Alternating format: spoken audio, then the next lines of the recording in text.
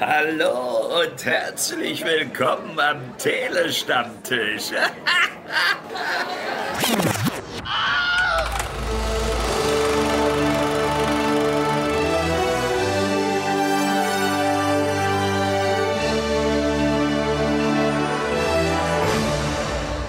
Einen wunderschönen guten Tag oder guten Abend oder guten Morgen, liebe ZuhörerInnen, zu einer neuen Ausgabe vom Telestammtisch. Äh, heute als Moderatorin habt ihr einmal Lasse und andererseits Britt-Marie. Hallo. Yay! Und äh, gemeinsam äh, besprechen wir äh, die ersten beiden Folgen von der gerade angelaufenen Serie, also am 30. November, an dem wir auch aufnehmen. Willow, basierend auf dem 80er Jahre Fantasy-Film desselben Namens, beziehungsweise diese Serie bildet eine Fortsetzung zu diesem Fantasy-Film, eine Regiearbeit von Ron Howard mit Warwick Davis und Val Kilmer in den Hauptrollen unter anderem. Und ja, diese Serie setzt die Geschichte mehrere Jahre nach dem ganzen Gedöns des Films fort. Hast du irgendwelche Beziehungen zum Originalfilm? Ich habe das Original gesehen, aber mehr auch nicht. Also es ist ja so ein bisschen so ein mittlerweile Kultklassiker, kann man ja fast schon sagen. Leute finden den Film ganz großartig. Es bedient ja dieses High-Fantasy-Thema auch und hat märchenhafte Züge. Und ich erinnere mich daran, das ist halt klar auch sehr 80er Jahre, was wir da sehen. Das Art wird sehr 80er Jahre, gleichzeitig mit diesem High-Fantasy-Thema. Und ich erinnere mich daran, dass ich das relativ jung gesehen habe, eben weil das so ein bisschen so ein Märchenthema hatte und ganz gut fand und dass ich immer Labyrinth und Willow verwechselt habe miteinander. Ah, ja, eine gewisse Verwechslung kann man verstehen, weil ja sowohl hier als auch dort du ähm, kleinwüchsige Charaktere hast, allerdings in Willow vielfach mehr. Ja, und wie gesagt, es hat dieses Märchenelement. Ich glaube, als Kind sind mir ganz viele Teile der Geschichte auch einfach gar nicht so aufgefallen, die mir heute als Erwachsener doch auffallen.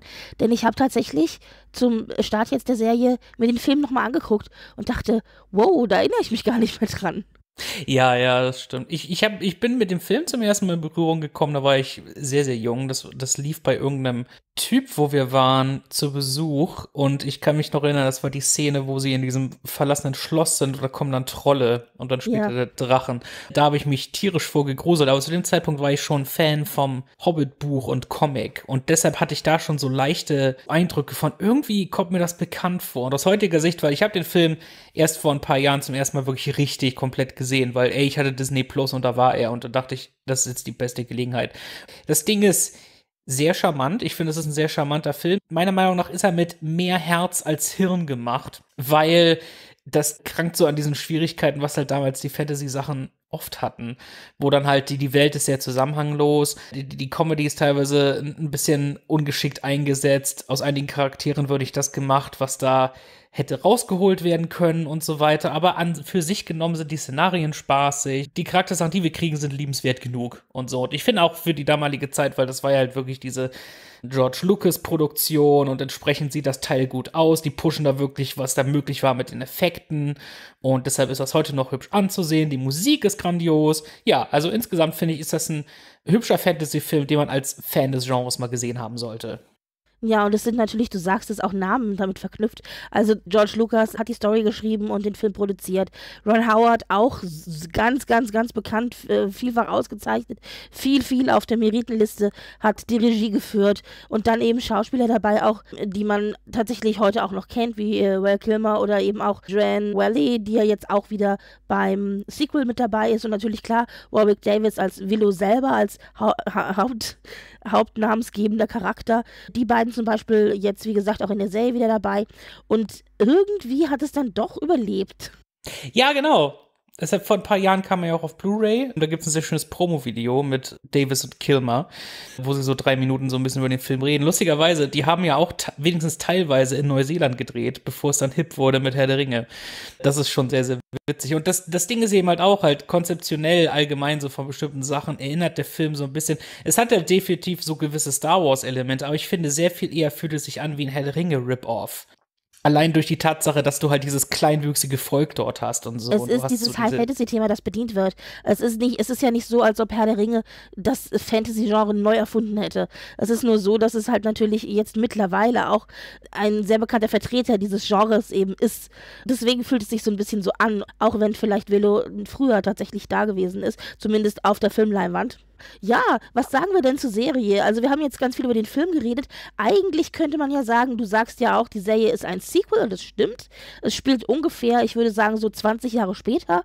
Und eigentlich erzählt es im Grunde die gleiche Story, nur ein bisschen frischer und moderner aufbereitet. Ja, so ausgehend jetzt von den, von den ersten zwei Folgen, die ich bisher gesehen habe, es ist nicht ex exakt dieselbe Story. Ist halt im Prinzip, we are get, so halbwegs, we are getting the band back together.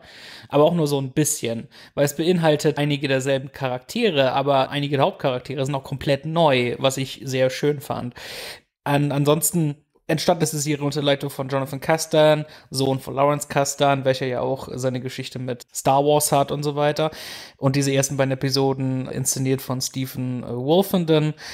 Ich war überrascht, als sie irgendwann angekündigt haben, wir machen eine Serie zu Willow. Ja, ich dachte auch, der Film ist in den 80ern gestorben, in Anführungszeichen. Also ich wusste zwar schon, dass er Fans hat, aber ja, er, er, fühlte sich immer auch ein bisschen cheesy und kitschig an, eben dadurch, dass es auch diese 80er Jahre Effekte und sowas in diesem Film gibt. Und naja, dieses High-Fantasy-Thema, gut, das ist zeitlos mehr oder minder, aber trotzdem, ja, ich weiß nicht. Also ich hätte nicht gedacht, dass dieses Thema nochmal aufgegriffen wird, aber offensichtlich brannte das den Machern unter den Nägeln und sie sind es irgendwie nicht losgeworden.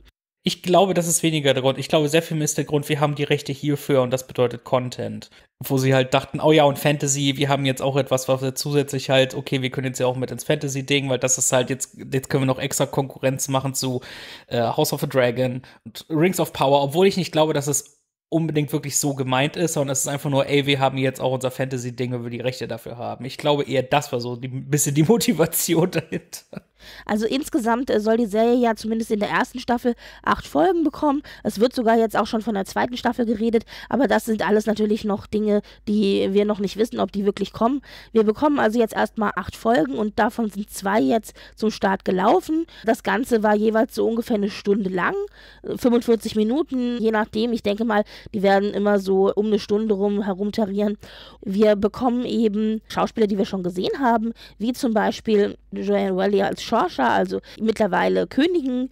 Wir sehen auch ein Amar Shala Patel als Borman wieder oder wie gesagt auch Warwick Davis natürlich als Willow. Wir kriegen auch neue Figuren, wie zum Beispiel eben Ruby Cruz als Kid, die Tochter von Shorsha oder Ellie Bamber als Laura Dunn, also die, die kennen wir ja klar, die kennen wir auch aus dem ersten Film. Da war sie ein Baby, mittlerweile ist sie ja gefühlt so 18 oder so um den Dreh rum, würde ich vielleicht sagen. Und dann noch mit Aaron Kellyman Jade, die beste Freundin und so ein bisschen das Love Interest von Kit. Und wen haben wir noch? Graydon haben wir noch, nämlich äh, Tony Revolori. Und äh, die, das sind so die jungen Charaktere, die jetzt dazukommen. Also die Kindergeneration eben von den Figuren, die wir aus dem Film kennen.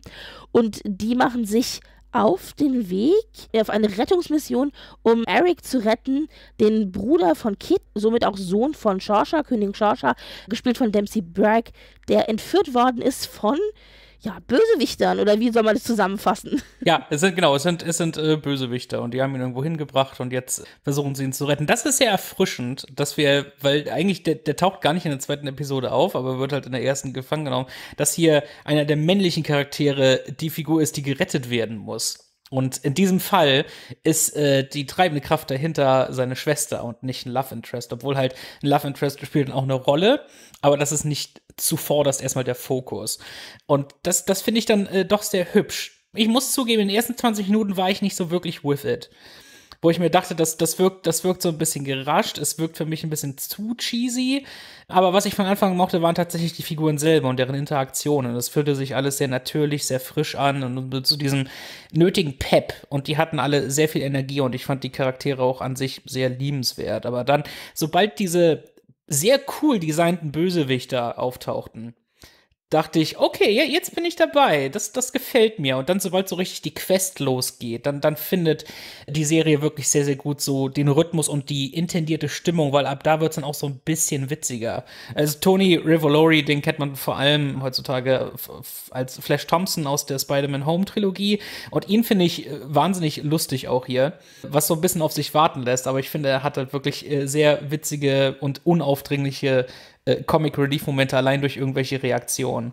Hm. Ich finde auch, dass äh, die Serie es zumindest jetzt am Anfang sehr, sehr gut schafft, innerhalb von sehr kurzer Zeit die Charaktere sehr gut zu etablieren. Also man findet da als Zuschauer sehr schnell Anschluss und ich war erstaunt tatsächlich, dass wir doch verhältnismäßig tiefe Dialoge gekriegt haben mit relativ tiefen Themen auch. Also eben sowas wie Einsamkeit, Verlassensein, Etablierung von Identität, äh, natürlich klar, Abenteuer und so weiter. Aber da waren dann zwischendurch Dialoge, wo ich dachte, wow, Moment, haben die das eben gerade gesagt? Also das hatte ich mir nicht erwartet für dieses Genre und für dieses Format.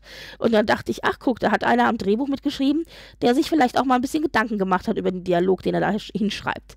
Das fand ich sehr erfrischend auch. Ja, das, das Ding ist, die Serie nimmt die Charaktere ernst und das Ding dabei ist aber auch, es fühlt sich bewusst alles so ein bisschen cheesy an. Es ist für, für mich, ich hatte allgemein den Vibe von so einer verfilmten Dungeons and Dragons Session. Ich meine es als Kompliment in dem Fall. Absolut. Weil dann witzigerweise, wir kriegen jetzt bald den richtigen Dungeons and Dragons Film. Und äh, das hier, wie gesagt, es ist so ein bisschen äh, in, in diesem Vibe drin. So, so ein kleines bisschen, weil es hat so diese klassischen irgendwie Fantasy-Tropes, aber es ist also ein kleines bisschen moderner aufgebrochen von der Konstellation her, eben halt, wie die, wie die äh, Figuren gecastet sind, wie sie sich so ein bisschen verhalten untereinander und so. Das, und das fand ich eigentlich sehr schön.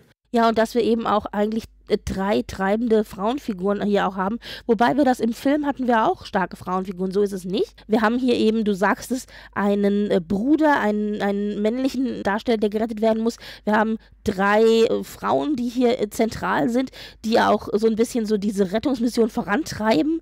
Und wir haben tatsächlich auch schon ein Pärchen, nämlich Kit und ihre beste Freundin Jade, die ja als Ritter ausgebildet ist. Und Kit, die auch mehr so, ich habe die Hosen an Vibes von sich gibt. Und äh, die beiden sind ja auch so, äh, zumindest annähernd ein Pärchen. Also da gibt es äh, romantische Vibes, mit denen man vielleicht auch nicht gerechnet hat, wenn man sich die Serie anschaut. Ich finde es cool, dass wir ein lesbisches Pärchen hier gleich am Anfang auch bekommen, ohne dass das in irgendeiner Form thematisiert wird. Das ist halt in dieser Welt dann völlig normal. Ja, das stimmt. Also, weil, weil schon sehr früh, also das, das lässt so ein bisschen auf sich warten, aber ich hatte schon sehr früh das Gefühl, zwischen den beiden ist mehr los als eine Freundschaft. Das fand ich dann doch dann richtig schön. Ich hoffe inständig, das vertiefen sie ein bisschen, machen sie mehr draus, weil das ist nicht mehr wirklich Thematik in Folge 2. Also ich, ich hoffe, dass das noch so ein bisschen mehr thematisiert wird noch, auf eine romantische Weise fulfilling ist. Weil so wie es hier auch aufgebaut ist, ist es nicht etwas, das man einfach so mal schnell rausschneiden kann. Und das ist halt sehr, sehr schön und abwechslungsreich, gerade für Disney-Verhältnisse.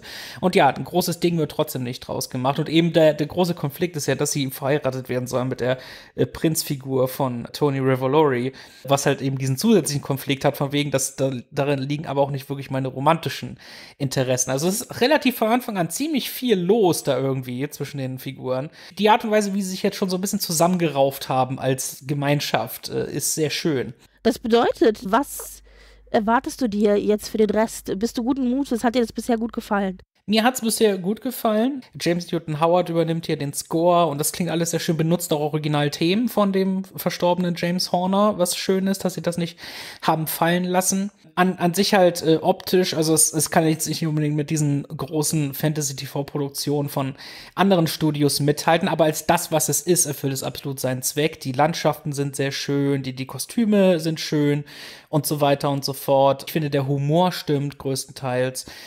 Und äh, ja, du hast schon so ein bisschen so einen gewissen Twist vorweggenommen mit der Enthüllung von einer der Figuren, also was mit der auf sich hat. Und Ah, naja, gut, da, dadurch, dass es gleich am Anfang auch enthüllt wird, habe ich jetzt kein Geheimnis draus gemacht. Direkt in Folge 1, ja. Weil ich, weil ich halt ursprünglich dachte, irgendeine von den Figuren müsste es dann sein, ja. Und sie erklären, sie erklären, warum diese Figur eine andere Haarfarbe hat, was ich ein bisschen witzig fand. Auch weil ich dachte, Moment, die war ursprünglich rothaarig, das Baby, weiß ich noch. Ich glaube tatsächlich, Willow erfindet das Rad nicht neu, definitiv nicht. Aber es hat frische Figuren, es hat äh, Schauspieler, die, die die Rollen ernst nehmen und ein Drehbuch bisher zumindest, das auch die Figuren ernst nimmt.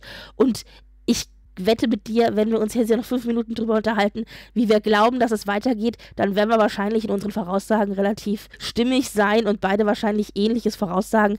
Es ist halt natürlich High Fantasy. Nichtsdestotrotz habe ich zumindest jetzt für den Anfang meinen Spaß gehabt und werde definitiv dranbleiben und hoffen, dass ich noch gut unterhalten werde. Das war richtig schön, weil das war ja die erste Starring-Rolle von Warwick Davis so ohne Make-up. Er war ja äh, so der Haupt-Ewok in äh, Star Wars Episode 6. Und ich glaube, als Willow, da war er Anfang 20, glaube ich. Also super 17, jung. Ja, genau, richtig. Oh ja, Gott, ja, das 17 will noch, war. oh Mhm, Gott. mhm, Also war, war super jung da und er ist so unfassbar liebenswert und charismatisch in dem Film. Und hier spielt er eine andere Version von dem Charakter. Sie macht so ein bisschen, es hat nicht so direkt, aber es, es, hat, es hat so diese gewissen Luke Skywalker und Last Jedi Vibes. Nicht, nicht, nicht so radikal, aber es hat so ein bisschen so dieses halt von wegen halt, er ist gewachsen und es ist so ein bisschen, dass sein Volk ist geschrumpft und so und bei bestimmten Familienmitgliedern von ihm weiß ich nicht genau, was da los ist. Ich mochte auch seine Tochter sehr gerne. Und das ist eben auch das Coole hier, was du heutzutage immer noch eher selten dann siehst in Fantasy, was ich auch so cool fand am Original Willow, dass du hier halt echte kleinwüchsige Darsteller hast, die die entsprechenden Figuren spielen. Da machen sie nicht irgendwelche Digitaltricks oder sowas. Und da, das finde ich cool. Und das da war halt schon in Willow so besonders. Dieses Dorf und da hast du all diese Komparsen. Und, und alle diese Leute sind klein und so. Und da dachte ich, das ist so mega. Dann kommt sowas wie Herr der Ringe, wo du dir denkst, das wäre jetzt das Prime Example, diesen Menschen diese Bühne zu geben und dann wurden die dort nur als Stand-ins benutzt. Das ist irgendwie komisch. Ja, in der Beziehung macht natürlich die Serie alles richtig. Ich finde auch ganz generell, also zum einen natürlich, welche Schauspieler gewählt werden für welche Rolle, aber natürlich auch, finde ich, von dem Ausgang. Ich habe zum Beispiel da auch zwischendurch gesessen und dachte, okay, Bechteltest bestanden. Haken, weißt du? Also haben wir mehr als eine Frauenfigur, die sich miteinander unterhalten und sie unterhalten sich nicht über Männer, weißt du, so, also dieses ganz klassische, das haben wir, es ist verhältnismäßig, ich sag jetzt mal, äh, gut äh, divers besetzt, in Anführungszeichen, insofern, als dass wir halt schon am Anfang ein lesbisches Pärchen bekommen, wir haben äh, relativ starke Frauenfiguren, wir haben auch People of Color, die hier in Hauptfiguren äh, vertreten sind, das heißt, ich finde, so als Ausgangspunkt auf dem Zeichenbrett ist es schon mal gut. Total. Und das macht alles einfach so, so viel abwechslungsreicher. Und ich finde es schön, dass das immer mehr und mehr die Norm wird im Fantasy-Bereich, wo es halt eher immer bisher von, von Weißen dominiert war. Und dass das jetzt mehr und mehr aufgebrochen wird, finde ich klasse. Wenn es ein, ein Problem gibt, was ich mit der Serie hätte noch außerdem, ist, dass relativ früh nach dem Aufbruch der Gemeinschaft ein Mitglied stirbt und das wird nie wieder angesprochen. Das, das geht zu schnell vorbei wo ich mir dachte, eigentlich diese, diese Figur äh, bedeutete einigen von euch irgendwie ein bisschen was. Und das, und das wird, das wird in keiner Weise irgendwie noch mal kurz thematisiert. Ach ja, wir sind traurig, dass diese Figur tot ist. Dafür, dass die Serie Willow heißt, haben wir verhältnismäßig wenig Willow bisher auch gekriegt. Also natürlich, klar, in der zweiten Folge dann ähm, vermehrt, weil wir dann eben auf den Charakter stoßen. Aber ich bin gespannt, äh, wie viel da noch äh, kommen wird. Und ich finde es auch sehr schön tatsächlich bisher, dass die Figur eben nicht so ein mittlerweile super kompetenter äh, Superzauberer ist, sondern wir haben immer noch einen sehr sympathischen Willow, der doch sehr an seine Originalrolle aus dem Film auch erinnert. ja, ja, genau. Also ich mag Warwick Davis allgemein gerne. Gut, letzte Frage. Ist die Serie, findest du, für alle Zuschauer geeignet oder muss man schon so ein bisschen einen Hang und Begeisterung zu Fantasy haben? Sollte man ja. Ich finde, ich finde nicht, dass man sich da groß drauf einlassen kann, wenn man nicht irgendwie ein bisschen Leidenschaft für das Genre mitbringt. Und ich finde, man sollte auch den Originalfilm gesehen haben, um da wirklich komplett äh, mitkommen zu können und so ein bisschen auch diesen Effekt zu haben, wenn sie halt wenn du Charaktere wieder siehst und so, weil sie legen da schon Wert darauf, dass du diesen kleinen Nostalgie-Kick hast und an, bei einem der Flashbacks hatte ich das so ein bisschen, weil ich, ich verbinde jetzt mit dem Film keine großen Emotionen, aber ich dachte mir, oh, daran kann ich mich erinnern. Also das ist definitiv da und auch halt wegen der äh, Musik-Cues, die wir hier und dort haben. Ja, also deshalb ist es nicht unbedingt etwas für, für jedermann. Also das ist die, wie gesagt, wenn es nicht so gewisse bestimmte Bestandteile hätte, dann wäre das vielleicht eine Fantasy-Serie gewesen, wo ich dann irgendwie relativ schnell weggeschaltet hätte, aber hier halt eben für Review-Zwecke und dann wurde es halt auch besser. Also dann innerhalb der ersten Folge schon ist mein Interesse noch sehr gestiegen und ich bin jetzt dementsprechend dann einfach gespannt, wie es wie es weitergeht. Und das Ding ist halt eben, ja, wenn ihr daran an der Serie interessiert seid, nicht den Originalfilm gesehen habt, ihr findet beides auf Disney Plus. Also ist das wirklich kein großer Umweg. Ich kann mich dem nur anschließen. Wie gesagt, ich war gut unterhalten und dann war das unsere Besprechung heute zu Willow. Ja, ich bedanke mich sehr für deine Zeit und ja, bin gespannt, wie das jetzt noch weitergeht damit. Wir hoffen, ihr hattet Spaß mit der Serie oder wir noch Spaß haben, basierend auf unserer doch Empfehlung. wir sagen Tschüss, danke fürs Zuhören und bis zum nächsten Mal hier beim Tele-Stammtisch. Sehr geehrte Damen und Herren, wertes Publikum, liebe Hörende, vielen Dank für eure Aufmerksamkeit und Zeit. Ich hoffe sehr, euch hat gefallen, was ihr gerade gehört habt. Wir, die Redaktion des Telestammtisch, betreiben ein semi-professionelles Podcast-Projekt zum Selbstmitmachen. Also meldet euch bei uns, wir beißen auf. Außerdem freuen wir uns immer über Feedback via Social Media und E-Mail sowie euren finanziellen Support. Ebenso frohlocken wir förmlich über Bewertungen auf den gängigen Podcast-Plattformen. Wer möchte, darf uns gern immer und überall empfehlen. Alle relevanten Links findet ihr in den Show Notes. Vielen Dank und bis zum nächsten Mal. Euer Andi.